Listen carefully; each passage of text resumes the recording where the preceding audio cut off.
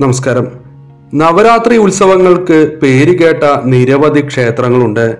എന്നാൽ ഒരു വിധത്തിൽ പറഞ്ഞാൽ മുൻ പ്രധാനമന്ത്രിയായ ശ്രീമതി ഇന്ദിരാഗാന്ധിയുടെ തലവര മാറ്റി എന്ന പേരിൽ ഇന്ത്യയൊട്ടാകെ പ്രശസ്തി നേടിയ ഒരു ക്ഷേത്രം നമ്മുടെ കേരളത്തിലുണ്ട്. ഈ ക്ഷേത്രം ഏതാണെന്നും എങ്ങനെ ഇന്ദിരാഗാന്ധിയുമായി ഈ ക്ഷേത്രം ബന്ധപ്പെട്ടിരിക്കുന്നു എന്നും നമുക്ക് ഈ വീഡിയോയിലൂടെ മനസ്സിലാക്കാം.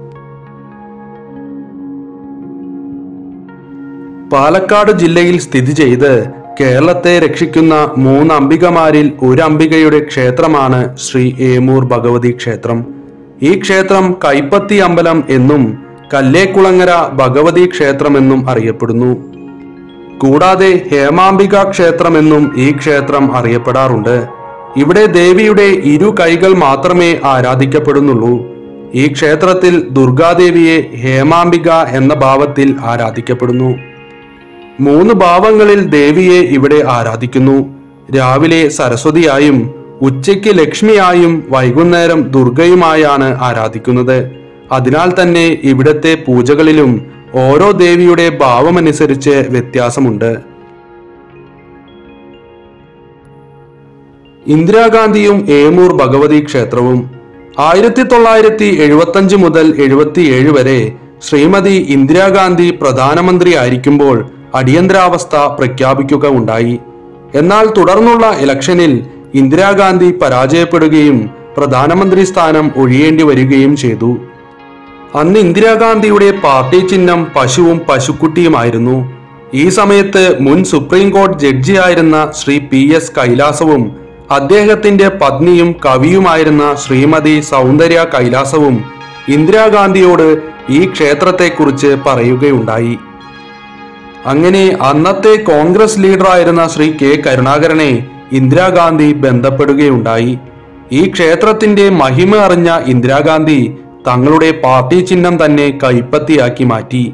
ഇങ്ങനെ ചിഹ്നം മാറ്റി അടുത്ത ഇലക്ഷനിൽ മത്സരിച്ച ഇന്ദിരാഗാന്ധി വീണ്ടും ജയിച്ച് രാജ്യത്തിന്റെ പ്രധാനമന്ത്രിയായി. ഇന്നും ഈ ക്ഷേത്രം പല ഉന്നത രാഷ്ട്രീയക്കാരുടെയും അഭയകേന്ദ്രമായി തുടരുന്നു. അന്ന് വീണ്ടും പ്രധാനമന്ത്രിയായ ഇന്ദിരാഗാന്ധി ഈ ക്ഷേത്രത്തിൽ ദർശനം നടത്തുകയുണ്ടായി. ആ സന്തോഷത്താൽ ഇന്ദിരാഗാന്ധി ഈ ക്ഷേത്രത്തിൽ വഴിപാടായി വലിയൊരു മണിയും കൊടുത്തു. ഇരു കൈകളിൽ ഒരു കൈ തടസ്സങ്ങൾ മാറ്റുന്നു. രണ്ടാമത്തെ കൈ ഭയം ഇല്ലാതാക്കുകയും ചെയ്യുന്നു എന്നാണ് വിശ്വാസം. ഐതിഹ്യം. ഐതിഹ്യപ്രകാരം ഇവിടെ പ്രതിഷ്ഠിച്ചിരിക്കുന്ന കൈകൾ ഇവിടത്തെ ക്ഷേത്രക്കുളത്തിൽ നിന്നും കണ്ടെടുത്തതാണ്. ഭക്തർ ഈ കൈകളെ സ്പർശിച്ചപ്പോൾ അവ കല്ലായി മാറുകയാണുണ്ടായത്. ആഘോഷങ്ങൾ വിഷു ഓണം നവരാത്രി എന്നിവയാണ് ഇവിടെ പ്രധാനമായും ആഘോഷിക്കപ്പെടുന്നത്. മണ്ഡലകാലത്ത് ഇവിടെ കളമെഴുത്തുപാട്ടും നടക്കുന്നു.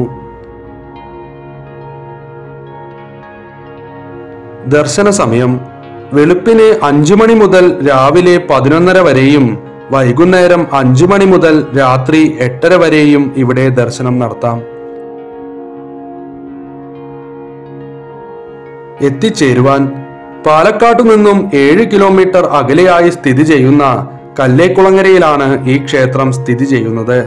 ഒലവക്കോട് റെയിൽവേ സ്റ്റേഷനിൽ നിന്നും രണ്ട് കിലോമീറ്റർ അകലെയായാണ് ഈ ക്ഷേത്രം സ്ഥിതി ചെയ്യുന്നത്.